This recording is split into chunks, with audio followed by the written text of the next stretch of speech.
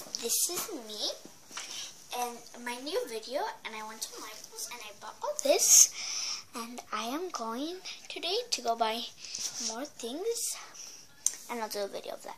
So let's get started. So what I bought is a box, rubber bands, and my loom. And I'm gonna buy in a box. So I'm gonna buy another same things because I I love rainbow. See the way you open it is you put those up and you just open it and it holds for you. So first I have the instructions. Now buy another one for the rainbow. So I have red, orange, two little slats of jelly yellow, neon green,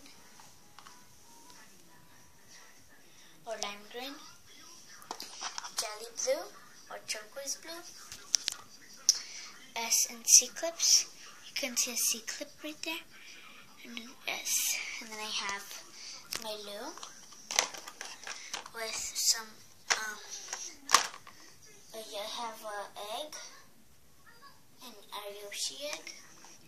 So I'll make that in my next video. And I have metallic, a little whole thing of clear.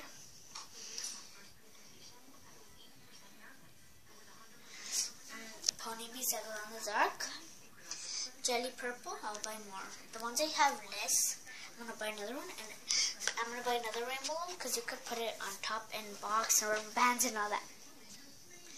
Then have pink, um, black, a mixture of the dark and white, and I have poker chips and tie dye.